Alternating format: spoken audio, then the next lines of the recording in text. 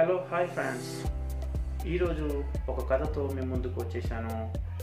కథలోనికి వెళ్ళే ముందు నా ఛానల్ ఇంకెవరైనా సబ్స్క్రైబ్ చేయకపోతే లైక్ చేయకపోతే వెంటనే లైక్ చేసి సబ్స్క్రైబ్ చేయగలరు.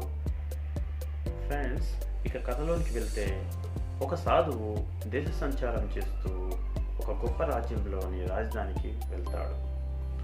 ఆ పురవీధులలో రాజధాని పురవీధులలో సంచరిస్తూ తిరుగుతూ ఉండగా నేలపై ఒక నాణెము సాధువుకు దొరుకుతుంది.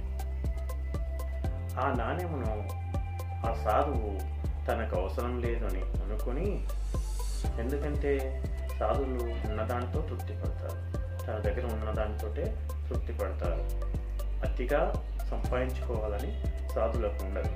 కాబట్టి ఎవరికైనా అవసరం ఉన్న వారికి ఆ నాణ్యమును ఇచ్చి సంతృప్తిపరచాలని అనుకుంటాడు. దానికోసం ఆ రాజ్యంలో ఆ నాణ్యం అవసరం ఎవరికైనా ఉందా అని వారి కోసం వెతుకుతూ సాధువు ముందుకు సాగుతాడు. అయితే ఆ సాధువుకు ఎదురు ఎదురు ఎవరి ఎదురుగా వస్తున్న వారి ముఖంలో ఆనందము సంతోషము తప్ప ఆ నాణ్యం అవసరం ఉన్న వారిలా ఎవరూ కనబడటలేదు ఆ రోజంతా రాజ్యంలో తిరిగిన సాధువు ఆ ప్రజలంతా సంతోషంగా సంతృప్తిగా ఉండటం చూసి ఎంతో సంతోషపడ్డాడు. అయితే రాత్రి కావడం చేత ఆ సాధువు అక్కడే ఒక చోట విశ్రమించాడు.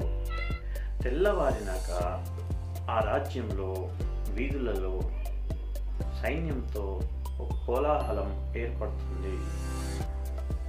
ఆ రాజు తన సైన్యంతో పురవీధులలో వస్తూ ఉండగా అటువైపు ఉన్న ఈ సాధువును చూసి సాధు దగ్గరికి రాజు వెళ్తాడు. రాజుగారు రథం నుంచి దిగుతూ సాధువు దగ్గరికి వచ్చి నమస్కరిస్తూ ఓ శివర్య నేను నా రాజ్య విస్తరణకై ఇతర రాజ్యాలపై దండయాత్ర చే చేయటానికి వెళ్తున్నాను. నన్ను ఆశీర్వదించండి అని అడుగుతాడు. అప్పుడు ఆ సాధువుకి ఈ నాణ్యాన్ని ఇంతవరకు ఎవరికి ఇవ్వాలో తెలియక దాచిపెట్టుకున్నాడు. కావున ఈ అవకాశాన్ని ఉపయోగించుకొని రాజుగారి చేతిలో ఆ నాణ్యాన్ని పెడతాడు. దానికి రాజుగారు ఆశ్చర్యపోతూ దీని అర్థం ఏమిటని అన్నట్లుగా రాజుగారు సాధువు వైపు చూస్తాడు. అంతలో సాధువు చిరునవ్వు నవ్వి ఈ నాణ్యము మీ రాజ్యంలో నాకు దొరికినది. దీని అవసరం నాకు లేదు. మీ రాజ్యంలో ఎవరికైనా అవసరం ఉందేమోనని నిన్నటి రోజంతా వెతికాను. కానీ మీ ప్రజలందరూ సంతృప్తిగా ఉండడం గమనించి నేను ఎంతో సంతోషించాను. ఉన్నదానితో సంతృప్తి పడకుండా లేని దాని కొరకు ఇంకా ఏదో కావాలని ఆరాటపడుతున్న వ్యక్తిలా మీరొక్కరి కనిపిస్తున్నారు. కావున ఈ నాణ్యాన్ని మీకు ఇవ్వదలిచాను అని చెప్పాడు సాధువు. ఆ సాధువు మాటల్లోని అంతరార్థం గ్రహించాడు రాజు. వెంటనే దండయాత్ర ఆలోచనను విరమించి సైన్యాన్ని వెనుకకు పంపిస్తాడు.